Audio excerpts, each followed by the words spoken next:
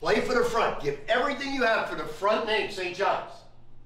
And then you will play in the NCAA tournament. You will go far in the tournament. You will have a chance of winning the Big East. Play for St. John's. That's it. Do everything from diving on the floor to blocking shots to setting screens to playing together. Play for the name on the front. The return of Rick Pitino to the Big East, one of the big storylines heading into the college basketball season. Pitino has taken five different programs to the NCAA tournament. Could St. John's be next? The 71 year old is the only coach to ever win national titles with multiple programs. And welcome to Jamaica Queens, where the buzz is back in St. John's.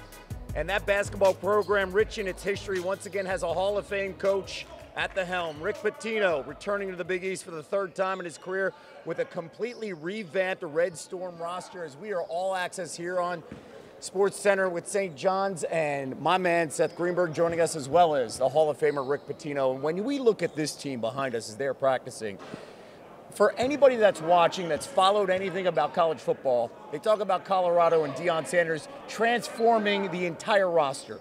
You've got 10 transfers, two freshmen, completely different, and you get to shape it. What have you been preaching to this team over the last couple months before the season? Well, you didn't make me. You're not going to. no, it was tough, but the difference between Deion, Deion had a lot of players that were ready to play at that level. I had really good players at St. John's. Mike Anderson did a tremendous job recruiting. I just wanted a whole different culture. Mm. Uh, but the, the guys that were here, they could play. Rick, you've coached the most iconic programs in the history of basketball, NBA college, the Knicks, the Celtics, Louisville, Kentucky, Providence, the Final Four. But for a guy from New York to be back here, Carnesecca Court, what does it mean to you to be back here in New York coaching this team? Seth, I used to, at age nine or 10, take a bus to Jamaica Queens from Cambria Heights to get $4.50 irregular Chuck Taylors. The line was off. Now I'm here with these $200 Nikes. I've made it big back in Jamaica.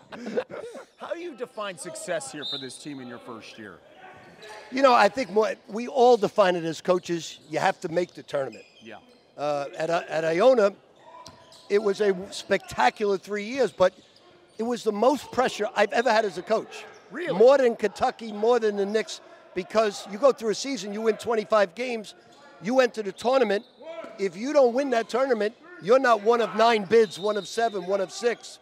So that pressure was amazing. I enjoyed it thoroughly, though. Okay, when you talk about Iona, those three years, if you look at UConn and they're running the tournament in March, the only time they trailed at the half was against your team at Iona. What did you learn from that experience that you can bring here? Depth. They came in with their second unit, and it was better than their first unit. So depth is really important for the Big East. You've got five teams ranked in the top 25. You've got Connecticut, returning national champions, ranked third in the league, mm-hmm. which is unheard of, and tremendous coaches tremendous coaches. I think at one time when I was in the Big East at Louisville, we got nine teams in the NCAA tournament. Yep. The first time you were in the Big East, you were at Providence. Very similar re- rebuild. You took that team to a Final Four. I heard about the East River and all that jazz, but on a serious note, how similar is this rebuild to that first one and that first run with Providence? Well, I didn't lose. I kept a lot of players. I was hoping Billy Donovan would transfer because he was 35 pounds overweight. But after losing 35, he became Billy the Kid, and quite frankly, he carried us on his back to a Final Four. But I had five or six returning players who were good. This team is 14 new guys. They're finally talking. ESPN did wonders for us. We're talking. when you take a look at this team, you, you got a, a, freshman that's pretty special. Kid that was committed to North Carolina, Simeon Wilcher he's coming into something like this. I, would like to know for you as a coach at different stops with NIL and things changing so much with the transfer portal, ton of transfers here. What's the challenge for you as a coach in this modern day, considering what you've seen over the last three decades? Well, everybody's anxious to transfer rather than be patient, get better, improve. Simeon Wilcher is a great find for us. We're very, very lucky. Then we got the leading scorer in the Ivy League one of the great players at Harvard, mm-hmm. and I got lucky with both guys again. They wanted a better education, so they came to St. John's. I was, I'm trying to figure out if you can talk to those guys. I mean, I mean UMass, Harvard. I you know, look up big words every morning. Bring the dictionary in every conversation. style of play. Your style of play has always been innovative, kind of ahead of the curve, three point shot, pressure, depth. But you're coming to a place that went to a Final Four under Lou Carnesecca, right, who was physical in the half court, kind of a little bit more conservative. What does it mean to you to have Carnesecca sitting up there, to be on Carnesecca court?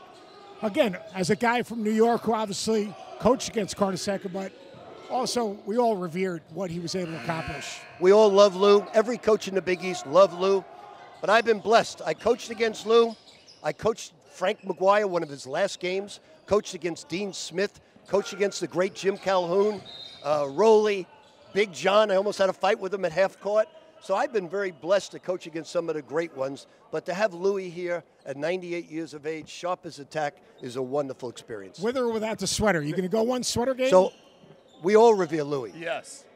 But there are limitations to what I can do in my life, and that's one of them. By the way, bring up, we bring up Louie and Lou Carnesecca coming up on Sports Center. How about a sit down one on one Seth Greenberg with the legendary Lou Carnesecca? That's coming up. Rick, thank you so much. Thanks, guys. Appreciate you having You know, me. Shay, during commercial break, he's still coaching and yelling with the mic in his hand here, trying to tell these kids what to do, getting ready for the upcoming season. Back to you. You got to take your earpiece out. He's loud. He's a New Yorker.